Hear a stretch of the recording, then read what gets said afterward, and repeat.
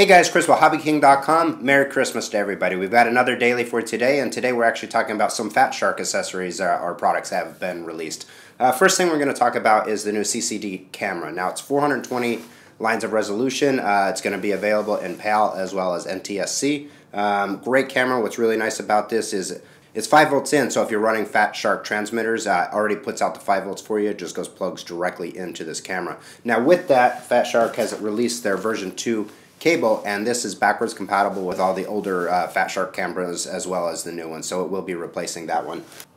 So I've saved the best for last. This is the new Trinity head tracker. It offers uh, 9 degrees of freedom, which means a normal head tracker just goes left and right, up and down, which is pretty awesome. But what this one does is it, uh, since it tracks on everything, it'll actually give you tilt. So when you're in a, a banking turn uh, and your, your, your view essentially is turned, uh, a lot of people, if you're in a normal airplane, would actually try to right your head up um, through that bank. With this new head tracker, you're able to do that. So instead of two outputs, it's actually got three outputs. So it's got three axes of output on it.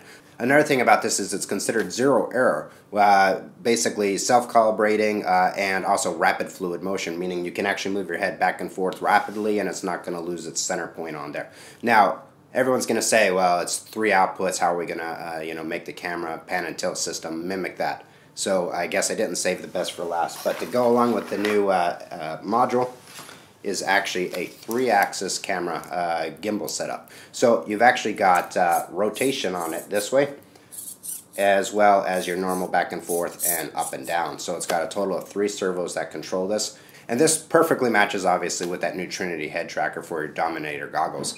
All right, guys, Merry Christmas, and as always, subscribe to our YouTube channel. Have a great holiday.